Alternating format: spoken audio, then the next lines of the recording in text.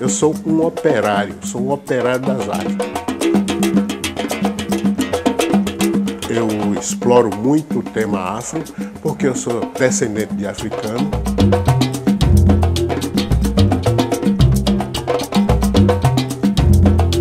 Então está no meu sangue.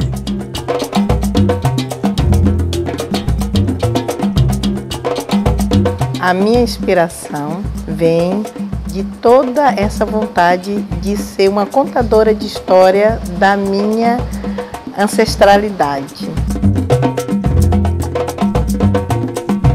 Conto as histórias que foram aconteceram na África, eu conto as histórias que aconteceram com toda essa vinda do africano para o Brasil e conta a história do afro-brasileiro.